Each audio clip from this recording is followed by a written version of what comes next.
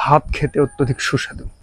চালে আমাইলেজের পরিমাণ দারুণ একটা ব্যাপার আটাশ পার্সেন্ট আমরা যারা স্বর্ণা ধানের প্রতি খুবই ভক্ত, আমি সেই কৃষক ভাইদের বলব, আপনার স্বর্ণা ধানের পরিবর্তে এই ব্রি ধান পঁচানব্বইটি চাষ করলে অনায়াসে আমরা রবি শস্য করতে পারব। যেহেতু স্বর্ণধানের জীবনকাল একশো পঞ্চাশ দিন, ব্যাপক একটা সময়, পাঁচ মাস এর জীবনকাল। আমাদের নভেম্বরের শেষের দিকে বা ডিসেম্বরের দিকে ধান কর্তন করতে হয়, কিন্তু এটার জীবনকাল একশো পঁচিশ দিন, অর্থাৎ আরও পঁচিশ দিন আগে আমি ধান কর্তন করতে পারব।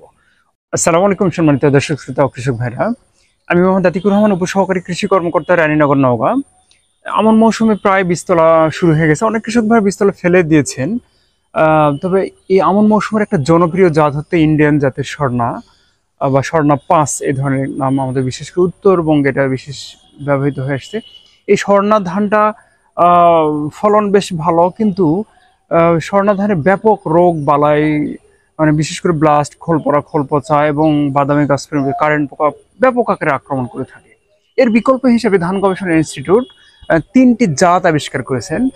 সেই তিনটি জাত যদি স্বর্ণ ধানের পরিবর্তে আমরা চাষাবাদ করি, তাহলে এই রোগগুলো আক্রমণও কম হবে, পাশাপাশি কৃষকের ফলনও বেশি হবে। এই তিনটি জাত হচ্ছে বৃধান তিরানব্বই, বৃধান চুরানব্বই এবং বৃধান পঁচানব্বই। আমি আজকে বৃধান পঁচানব্বইয়ের জাত বৈশিষ্ট্য নিয়ে তথ্যপাত্র শেয়ার করব। হয়তো আপনার স্বর্ণা ধানের পরিবর্তে এই ধানটি চাষ করে আপনার লাভবান হওয়া যেতে পারে এবং এটি যেহেতু আগাম জাতের ধান আর স্বর্ণ অনেক লেট ভ্যারাইটি সুতরাং এটি চাষ করে কিন্তু আমরা অনায়াসে রবি শস্য চাষ করতে পারি। সুতরাং আমরা বৃধান পঁচানব্বইয়ের জাত বৈশিষ্ট্য জেনে নিই।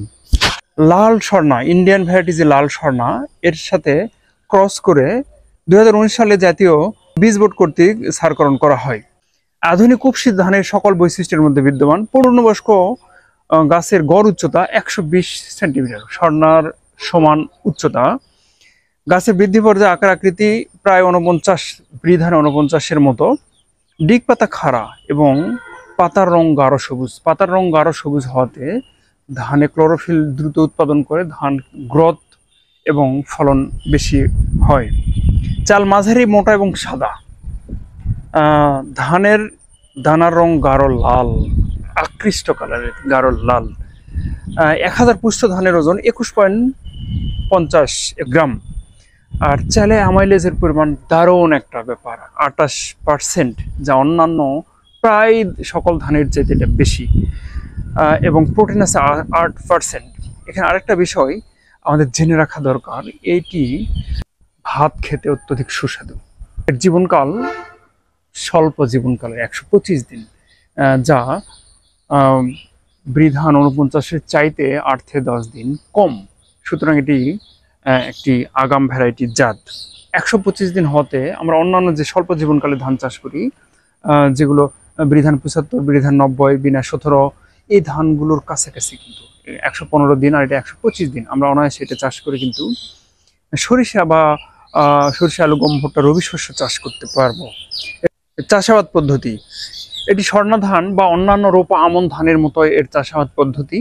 চাষের বীজ বপন এটি জুন মাসের পঁচিশ তারিখের পর থেকে জুলাই মাসের পঁচিশ তারিখের মধ্যে আমরা বীজ বপন করব এবং অবশ্যই বিশ থেকে পঁচিশ দিন বয়সের চারা আমাদের রোপণ করতে হবে। বিশ থেকে পঁচিশ দিন বয়সের চারা যদি রোপণ করি, তাহলে আমাদের সর্বাত্মক ফলন পাওয়া যাবে। এবং রোপণ দূরত্ব অবশ্যই আমি আগে প্রত্যেকটা ভিডিওতে বলেছি রোপণ দূরত্ব অবশ্যই নয় ছয় করে আমাদেরকে রোপণ করতে হবে। অর্থাৎ লাইন টু লাইনের দূরত্ব নয় ইঞ্চি এবং চারা থেকে চারার দূরত্ব হবে ছয় ইঞ্চি। এই নয় ইঞ্চি, ছয় ইঞ্চি করে আমরা যদি রোপণ করি, তাহলে আমাদের সঠিক উৎপাদন সম্ভব হবে। এবং এর সার অন্যান্য স্বর্ণা বা অন্যান্য আমন ধানের মতো এর সার প্রয়োগ পদ্ধতি, এর আলাদা কোনো বিকল্প পদ্ধতি নেই। এবং এটিতে ব্লাস্ট এবং খোলপরা খোলপচা রোগ সহনশীল জাত এবং বিএলবি প্রতিরোধী জাত এটি। ফলন কিন্তু ব্যাপক। এটা অ্যাভারেজ গড় ফলন বিশ মন প্রতি তেত্রিশ শতক বিঘাতে এবং ভালো পরিচর্যা পেলে বাইশ থেকে পঁচিশ মন পর্যন্ত ফলন হতে পারে। এবং আমরা আগাম উপযুক্ত সময়ে বীজ বপন চারা রোপণ করতে পারলে নভেম্বরের প্রথম সপ্তাহের মধ্যে আমরা এটি কর্তন করে অনায়াসে আমরা রবি শস্যে যেতে পারব। আমরা যারা স্বর্ণা ধানের প্রতি খুবই ভক্ত, আমি সেই কৃষক ভাইদের বলব, আপনার স্বর্ণা ধানের পরিবর্তে এই ব্রি ধান পঁচানব্বইটি চাষ করলে অনায়াসে আমরা রবি শস্য করতে পারব। যেহেতু স্বর্ণধানের জীবনকাল একশো পঞ্চাশ দিন, ব্যাপক একটা সময়, পাঁচ মাস এর জীবনকাল। আমাদের নভেম্বরের শেষের দিকে বা ডিসেম্বরের দিকে ধান কর্তন করতে হয়, কিন্তু এটার জীবনকাল একশো পঁচিশ দিন, অর্থাৎ আরও পঁচিশ দিন আগে আমি ধান কর্তন করতে পারব। অবশ্যই এটি নভেম্বরের ফার্স্ট উইকের মধ্যে আমরা ধান কর্তন করতে পারব এবং যেহেতু ফলন ভালো, বাজার মূল্য ভালো এবং বলেছি ধানের রং গাঢ়, লাল রঙের চাইলে কিন্তু অ্যামালেজ বলেছে আঠাশ পার্সেন্ট এবং ভাত খেতে কিন্তু সুস্বাদু। সুতরাং বাজার দর ভালো, খেতে ভালো ভবিষ্যতে এর ব্যাপক প্রসার হবে বলে কৃষি বিজ্ঞানীরা আশা করছে। ধন্যবাদ সকল কৃষক ভাইদেরকে। আসসালামু আলাইকুম।